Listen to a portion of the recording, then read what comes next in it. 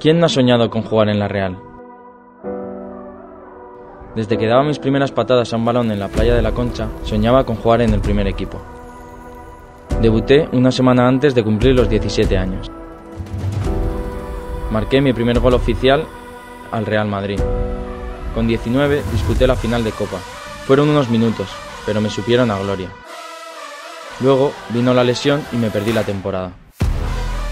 Ahora, con más de 100 partidos a la espalda, sigo soñando con vestir y honrar esta camiseta. Sueño con hacer cosas grandes, con seguir haciendo historia.